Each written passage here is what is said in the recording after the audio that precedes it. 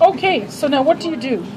Um, so what we're going to do now, the quest, just to let you know, you can get other questions. You will get other questions about this lab, but one of the questions you will get will ask you trace the flow of blood um, from the, and I'll number, I'll give you a number, uh, first, second, third, fourth, or fifth, afferent branchial artery to the dorsal aorta, and you have to give one. Um, you have to give one set of vessels that it could flow through en route. Um, if there's well, if there are a couple of choices, you just pick one, and that's always true. Anytime you're asked to give flow of blood from A to B, you just have to give one possible path. You never have to give all of the possible paths. So that's what we're going to do now. And what I'm going to do is I'm going to ask you guys to give me the vessels, and what I will do is I will show you those vessels on the chart. Okay, and then after I've done that, and also show them to you on the schematic and on and show you some of the relevant um, figures in the te- in the lab manual. After I've done that, then what I suggest you guys do is if you you know if you didn't get a good enough look and you want to run through on your own chart, let me know.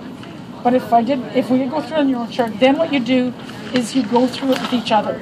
So what you do is, you know, you say to your partner, take me from the first afferent branchial artery to the dorsal aorta. She or he, she or he will go through it, get stuck, one of us over to clarify. If, you, if it's really clear, that's great. Then you just uh, switch, and the other person takes you through. And again, each time you number an branchial artery. Okay, so what I'm going to do is we're going to go from, in this case, we're going to take the fourth afferent branchial artery, and we're going to take it to the dorsal aorta. So if you look here, there's the fourth afferent branchial artery. Um, and so where does that afferent branchial artery flow? It flows into the holobranch. Now, let's just review this again. On the shark, you have one demibranch and four holobranchs. This is a demibranch because it includes an interbranchial septum and uh, it includes one demibranch, one set of primary gill lamellae. The other four are holobranchs, one, two, three, four holobranchs, because they include an interbranchial septum and two sets of primary gill lamellae, one on either side, one on the anterior, one on the posterior side of the uh, interbranchial septum. The, the uh, posterior wall of the final gill chamber or gill pouch, the two things mean the same, is skin. And uh, so the interbranchial septum uh, supports the gill ray, which supports the gill lamellae, the primary gill lamellae, and also supports the gill rakers, which keep gunk out of the out of the gill out of the gill pouch. Okay, so in this case, um, in this case, you know what we're going to do? I'm going to switch because I, I'm going to make some less work for myself. I'm going to switch. Instead of doing the fourth uh, afferent branchial artery, I'm going to switch to number two. Okay? So number two, um, which uh, of the interbranchial septa um, does it flow into? Afferent branchial artery number two. There it is. No, no. The, so it flows into the first holobranch, right? Yeah, so it flows in here. Now, if you look at the diagram on page 97, can you see the afferent branchial artery flowing inside the um, interbranchial septum? Point to that. It's right there, and there's only one. It's not paired. So now let's look and see if we can see it. And the reason I switched number two is you can actually see it without my doing any work. Um, it's a bit tricky because it's an uninjected vessel. I did see it a minute ago. Where's it gone now? Do you see it right there? I'm going to need to get a dissecting microscope. I mean, I need to get a, a magnifying glass. I think I see it. Do you see a little vessel right there? Now that I've switched, I'm not sure I see it. D- turn on the light. Can you shine a light on it for me? Does you, do you have a little um? Do I? Yeah, let's see. I'm not sure I see it anymore. Let me take some scissors and make it a little more visible. Now that I've switched, I don't see that clearly. Usually I find that cutting this um, to make it a, sort of a nice new cut makes it a little more. D- Can we have the light back?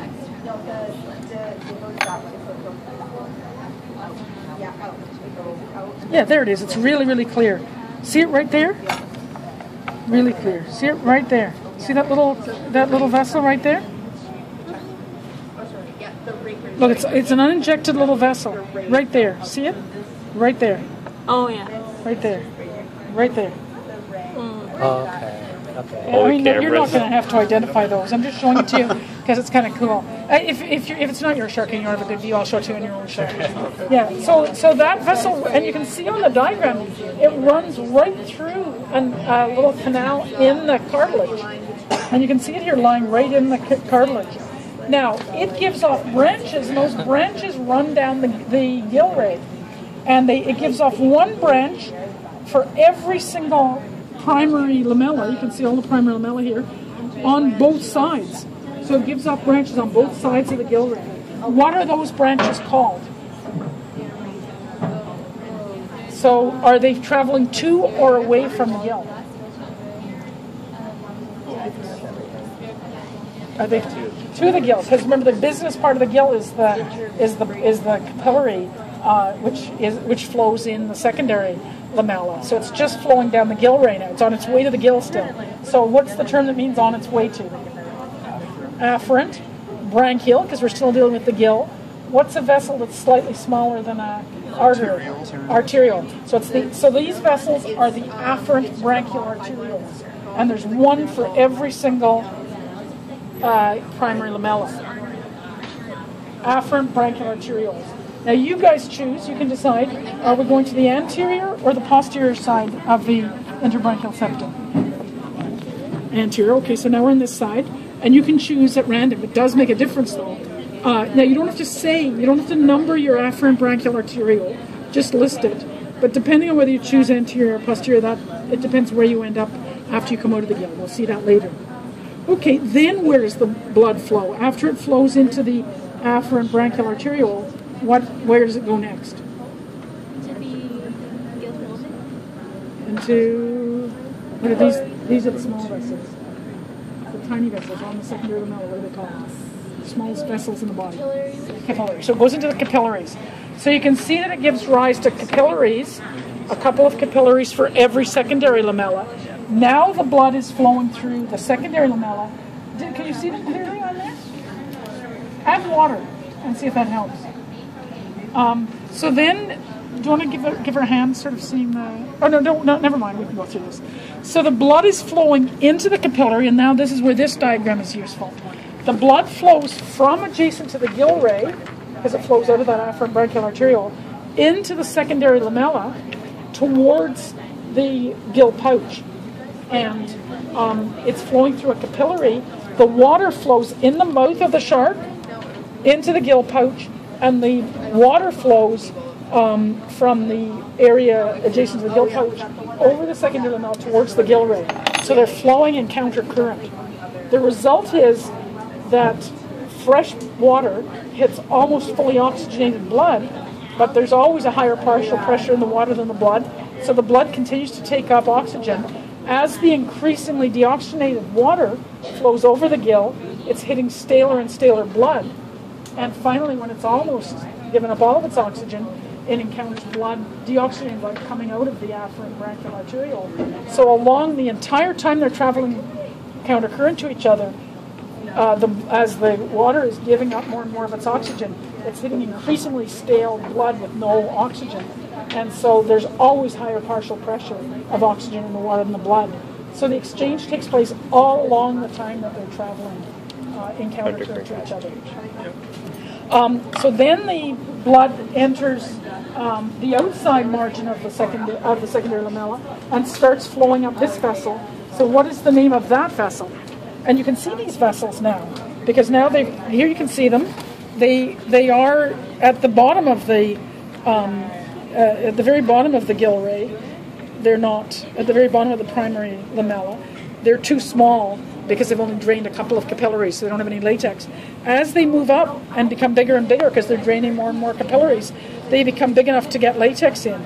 So here you can see there they get you know you can see the um, these vessels clearly outlined, one for each of the primary lamella. So what are they called? Where are they flowing? Efferent now.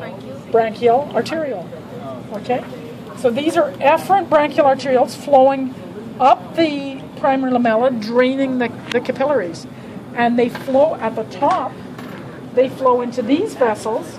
So we're here, we went to the second one, we went anterior. At the top, it flows into this vessel. That vessel is a trematic artery. Okay? Now, this is where things get a bit tricky. We went anterior to the anterior um, set of gill lamellae. Here's your trematic artery. The trematic arteries are named based on where they are relative not to the interbranchial septum and the gill arch. They're not. They're named where they are relative to the gill pouch or the gill chamber. In this case, this trematic artery is on the posterior wall of the gill chamber, therefore it's called the post-trematic artery. So because you went anterior, the blood flows into the post-trematic artery. If you had gone posterior, then it would have flowed into this pre-trematic artery here. So that's a bit, you know, that can be a little misleading.